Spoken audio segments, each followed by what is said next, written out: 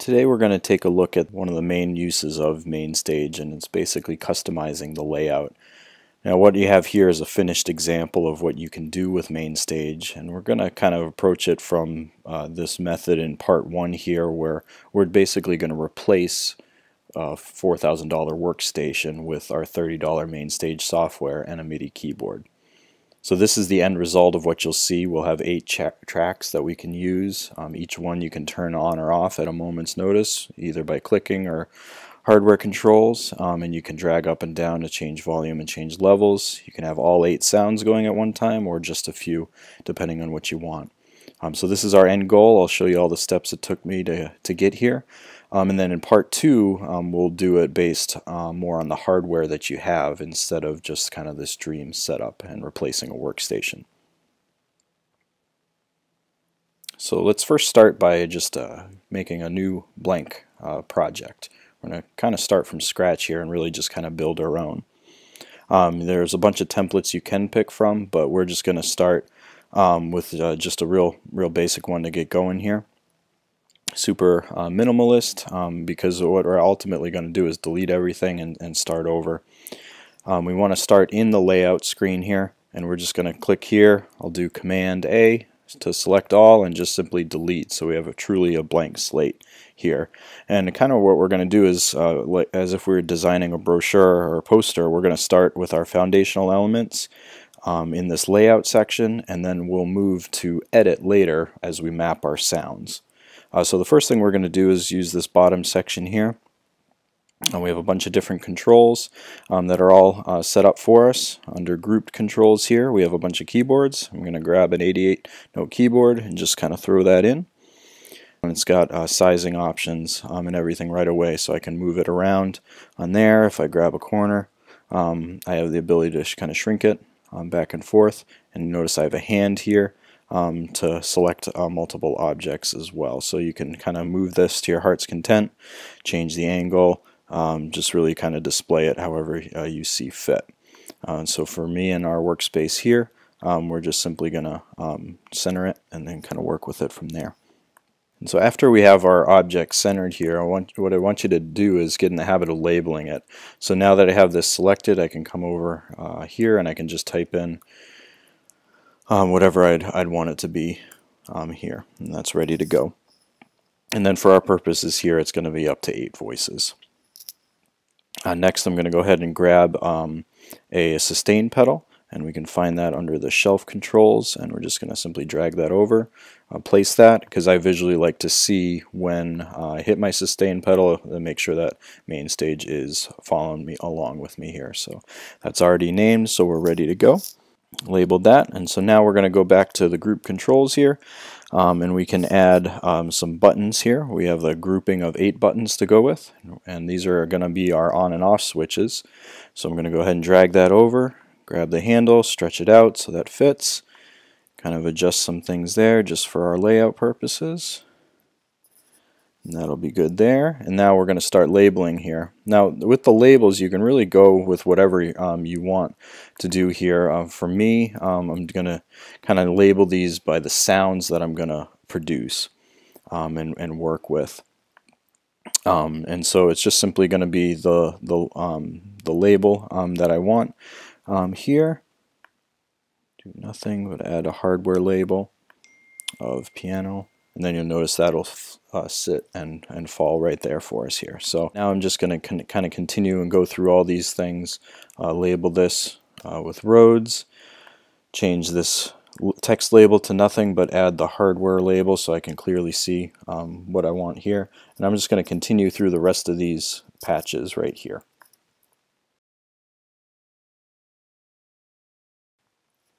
Now that I have my buttons all labeled, um, what I'll end up doing now is add some faders to here so I'll have volume control right on screen.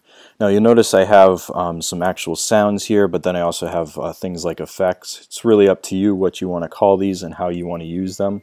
Just for our quick example here I'm gonna uh, have a couple effects uh, plus a few different uh, sounds to play with and I have a nice little to be announced uh, depending on what I might want to feel for a particular song or set later on. So now that I have my buttons, I'm going to go ahead and grab eight vertical faders. I'll bring those right up in here. Go ahead and drag to expand so that fills up um, visually our screen. And I'm going to do a very similar thing. I'm going to label um, all these. We'll call this piano volume. And uh, I like to do the same thing. Uh, nothing uh, to display um, here. Actually, you know what? Let's do a value um, for that. And what that'll simply be is a value for the um, volume so we can visually see a decibel letter, level later on um, plus uh, um, see how it maps to the actual piano later on. So I'm going to continue um, through all these. I'm just going to save a little bit of time where I'll select all of these guys just by holding down the shift and then we're going to say that these are all going to show the value um, over in here and then uh, uh, just for my sake of organization um, I'm just going to add my labels here. Actually, while we're at it, I'm actually changing my mind. I'm going to go ahead and change this one here, and we'll call this the master.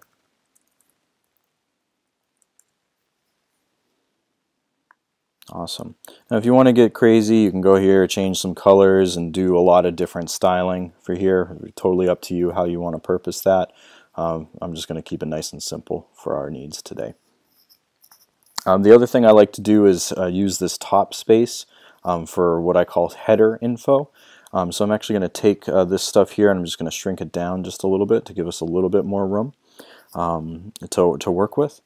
And uh, I like to have some uh, certain uh, consistent information um, in every MainStage project I have. And so there's a, a couple things that we'll end up doing um, in here. we're going to go to our panel controls over here and we're just going to take a background. Slide up here just give a little depth to our header. Uh, you can align it make sure it looks good. A lot of different styling for things. Again the personal preference for what you're looking for uh, on here. I'm just going to keep mine nice and simple. Nice little gray background. And now um, I'm going to add some text in here. So throw some text in and this is going to be the CPU level. I have a, a, control for that. Change my font.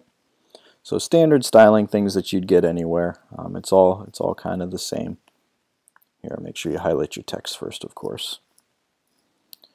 And I like the whole Helvetica Neue light. We'll do that. Okay.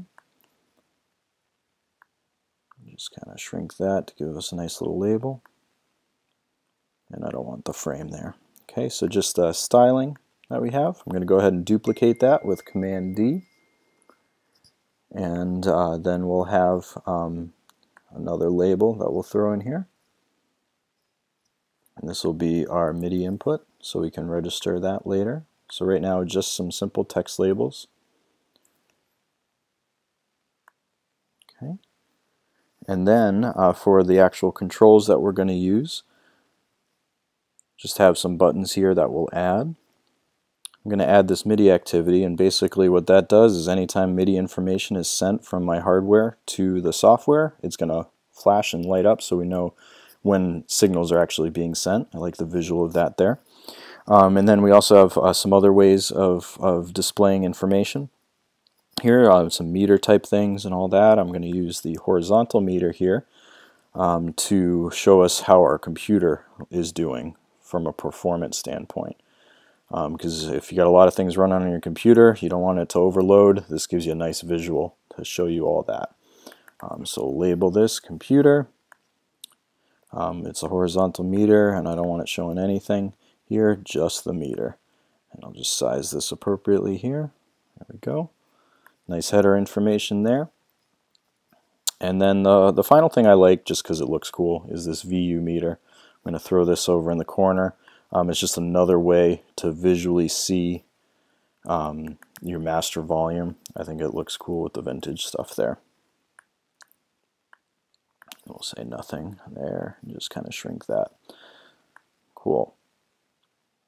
Alright, so now we have a nice little header uh, information there. So we have our, our basic layout is all set. Um, we customized, we duplicated, and once you're happy with the look here, uh, that's what this screen and layout is all about. You're just controlling the look of how you want to control the sounds once you get into MainStage. And so now that we're done with this, we're going to head to the edit panel over here and really map the sounds and do most of the control. And so now that we're in edit, we'll see they load a patch for us right away. Um, you'll notice I have all these exclamation marks because none of these layout objects that we've added are mapped to anything. Uh, they're just blank buttons really at this point. And so what we're going to do is actually going to delete this uh, classic electric piano. And we want to work exclusively in the, the concert level for this particular template. Because the way this template is designed is that all of these sounds and all of these options are available no matter what we're doing in this particular uh, MainStage template. And so I want to do it at this concert level so that everything I do here will translate no matter what I end up doing later on. And so we can go ahead and title this whatever, uh, whatever you want, just simply by file and saving. We'll call this uh, 8 channel template. All right, and then we have that ready to go here. And now we can uh, do the fun of starting to map all of these different controls here. And what we'll start with um, before we even map here is we're going to add um, eight different patches. So we're going to come over to these channel strips here. We're going to hit this plus button. We have uh, eight things to work with. Um, so we're going to um, go ahead and hit eight. Um, this does depend on what your uh, setup is going to be like. Um, so if you're doing completely eight sounds all the way across, you're ready to go by hitting the number eight. Um, in my particular thing, I got one, two, three, four, five actual uh, sounds, and then I have a couple aux channels for reverbs and delay. So I'm going to start with adding five um, instrument channels because they're all about MIDI um, at this point. Add those two, and we'll go ahead and create this. We know we're creating it at the concert level, so we're ready to go there. And so we'll see I have one, two, three, four, five, and I'll go ahead and add two auxiliary tracks as well and go ahead and create those at the concert level as well. And then just like we were doing before, we want to uh, label um, everything that we have. Um, so we're going to label this to match. We have a piano, we have um, Rhodes, and then continue down to match your template from here. Okay, and now we'll go ahead and pick some uh, patch settings here. I'm going to pick a piano. Um, I like the Bosendorfer, so we'll go ahead and do that. I'll pick my Rhodes.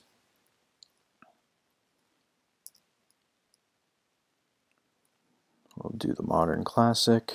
And then again, you can pick any presets you want here. You can pick um, from uh, these presets. You can make your uh, make your own. Uh, really doesn't matter um, what you uh, want to end up picking here. You, you have your full uh, set of choices. So do orchestral strings, do modern and just continue through and pick your patches. Okay, now that we have all our tracks set up, now we're going to start doing the mapping. And so we take it just uh, simply one element at a time and choose which um, object we want to go with. So if I select this uh, CPU one here, uh, we get to um, either map it to an object that we have over in our channel strips, or we can assign it to um, an action that we have over here as well. Um, so under um, all these things here, we have a lot of different ways to approach it here. Um, you have a bunch of um, uh, master things in this in this actions menu here. So when we're looking at our, com our computer load, we can just choose that, and that automatically monitors our computer input. That we'll notice the MIDI one is already set. We don't need to do anything with that. Uh, this guy here, we wanted it to uh, monitor our master volume. So as our volume uh, goes up and down and moves, we'll actually see that live and let that control that. So that's just simply going to be our master volume. And now we're going to go through our tracks and do a similar thing here, where we're going to select our first uh, our volume control. This is our, for our piano, and we want that to control the volume of the piano. And then notice it's showing our dB level here um, based on what we said earlier to show uh, the parameter text. And I'll go right down the line, go to our Rhodes volume, go to our strings volume, etc. Okay, and then you'll notice it's live. So as I drag the piano channel strip down, you'll see that um, visually show there. So whether I move it in here or I move it up and down here when I'm actually in the concert, it modifies the same setting. So our tracks are done. Now let's map these buttons to, uh, to control the different things that we want to here. And so for each one of these, we're actually going to have it be the mute switch. Um, one thing extra you want to do though is that um, for visual sake, um, to me when it's lit up that means it's on. And so um, we want to map it to the mute option but let's check this box to invert the parameter range. And what that means is that when it shows as on like so um, it, that means it's it's going to be um, on and, and the volume's there. Um, but then if I were to toggle that you'll notice now the mute button is hit on that. And so um, just check that box for invert parameter range so that it flips um, the, the option so that it's more logical sense. So when it's lit, that it is live. And we'll again continue through each one of our tracks, select mute, invert, and continue down with our strings. Awesome.